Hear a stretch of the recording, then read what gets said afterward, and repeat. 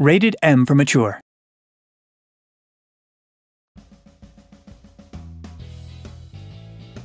Siemaneczko, standardowo przy mikrofonie Gibuskin. Dzisiaj przygotowałem dla was wycieczkę z okazji wakacji. To też razem ze mną cofniecie się aż 10 lat wstecz, żeby pokazać wam jak działał wtedy TF i co się w nim wtedy robiło. Oczywiście nie zabraknie tutaj handlu, ekonomii, społeczności, no i oczywiście hazardu. TF2Hunt.com. Mam więc przyjemność ogłosić, że przeniesiemy się do 2011 roku, czyli do czasów, kiedy rozpocząłem przygodę z tą piękną grą. Ale najpierw oczywiście intro. J'ai les papas en face à mi que ton aime à s'élever. Je suis comme un tutu, le paradis en survie. J'ai même appelé, encore de ma talent, encore de ma élégance, une façon, une autre. No dobra, no to od czego by tu zacząć? Za moich czasów polskie community było o wiele bardziej podzielone i nie było globalną wioską taką jaką jest teraz. Nie było mowy również o botach i casualach, a główną rolę odgrywały serwery społeczności, które w Polsce było multum. Każdy przeciętny gracz spędzał czas z reguły na jednej sieci serwerów i właśnie przez to można powiedzieć, że dużo graczy było podzielonych na kilka obozów gdzie każdy obóz symbolizował jedną grupę serwerów. Sam do dziś pamiętam kilka z nich. Pierwsza sieć, która od razu mi przychodzi do głowy to Polska Gazownia, która główne zalety jakie miała to dosyć ogarniętą społeczność i administrację. Tryby gry, jakie najbardziej tam kojarzę, to zwykłe mapy rotacyjne i tryb Freak Fortress, na którym spędziłem najwięcej czasu. Zawsze tam się grało z przyjazną atmosferą i rzadko się zdarzało, że ktoś czuł się tam źle. Nawet inni wspominają tą sieć za bardzo piękny i podniecający epizod w swoim życiu. Następna grupa to wymiatacze, która, no, ym, no już taka święta nie była. Na tych serwerach grało się głównie fair fun i były również idle serwery. Świetne miejsce, żeby się po prostu wyluzować. Lecz nie jest to do końca prawda, bo administracja pozostawała tam wiele do życzenia. W skrócie, skrócie po prostu ssała, może tak będzie najlepiej. A przynajmniej administrator ściślej mówiąc. Bo najbardziej kojarzę tego, który najbardziej się darł i banował ludzi za to, że ktoś coś mu niemiłego powiedział. Nawet jak ktoś mu powiedział prawdę. Nie będę mówił kto to, bo po pierwsze nie ma to sensu, a po drugie jeżeli ktoś z was grał na tym serwerze, to zapewne wie o kogo mi tu chodzi. A ostatni serwer, jaki wam jeszcze omówię, to Otaku Gaming. Z tą siecią jest związana pewna dosyć śmieszna historia, bardziej taka anegdota. Ale najpierw opowiem wam jak tam się grało. W mojej dalekiej pamięci przypominam sobie, że serwer był kojarzony z unikalnych map i trybów takie jak idle serwery, które służyły bardziej do tego, żeby sobie nabijać wszystkie osiągnięcia. Wystarczyła tylko jedna komenda i miałeś już wszystkie przedmioty z osiągnięć. A drugi jaki sobie przypominam to jailbreak, a trzeci to mapy rotacyjne, które używały eventowych map halloweenowych. Szczerze, nie wiem czy ktoś tam był w ogóle adminem, bo dziwnym trafem na tej sieci grały same dzieci i na voice czacie odzywały się same dzieci.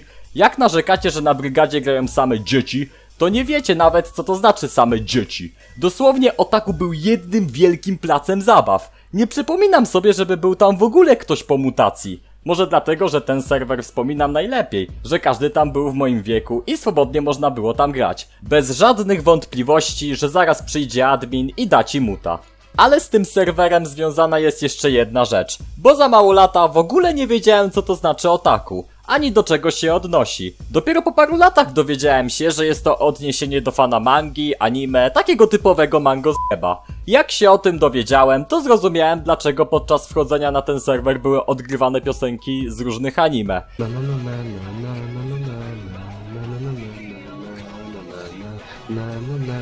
Pomijając już aspekt samych serwerów społeczności, to warto z tego miejsca wspomnieć o podklasach, które już obecnie nie zobaczymy w TF-ie. Jednym z takich najbardziej popularnych był Gunspy, ale nie taki Gunspy w obecnej postaci, tylko mam tutaj na myśli Gunspy'a, który był jednocześnie snajperem. Zastanawiacie się pewnie na czym on polegał. Odpowiedź jest bardzo prosta.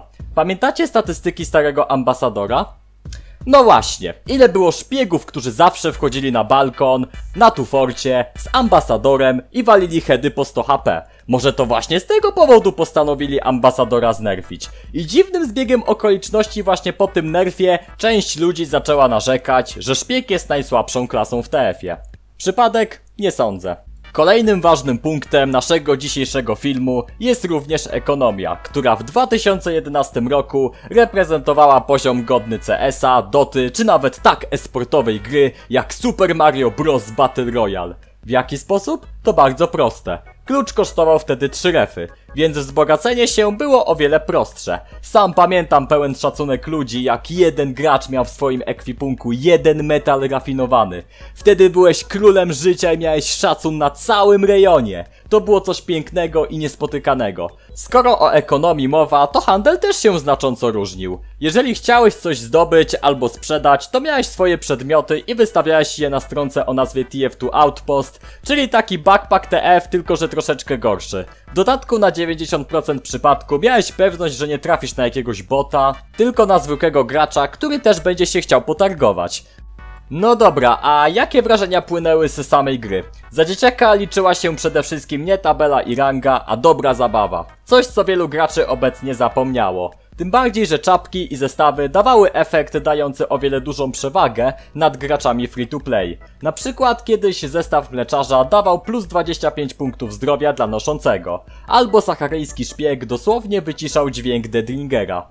Uważam, iż Team Fortress 2 jest pay to win. No dobra, ale zostawmy to już na boczny tor. O wiele lepiej nam wychodziła strona polskich TF-owych youtuberów. Jednym z takich najbardziej szczególnie wyróżniającym się na tle innych był Marcin 4007, znany obecnie jako Marcin Buczyński. Niby były to tylko zwykłe let's playe, ale pamiętajmy, że był to 2011 rok, a wtedy oglądało się to całkiem przyjemnie. Oczywiście początki kanału nigdy nie są spektakularne, ale potem człowiek się coraz bardziej nakręcał i wraz z wiekiem wzrastał poziom jego filmów.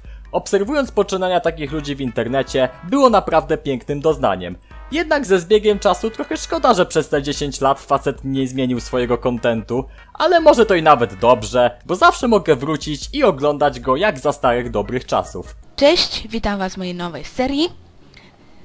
Tą serią jest Team Fortress 2, haha. Cześć, witam was w kolejnym odcinku Team Fortress 2, którego dawno, dawno, dawno nie było. Jesteśmy na serwerze Brygada Graczy, na którym dawno nie byłem.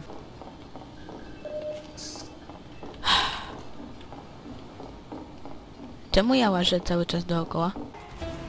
No nie, zabili mnie! Jurek. Ale wieżyczki mi nie zajebali jeszcze. Eee, jednak zajebali. Pomóżcie mi.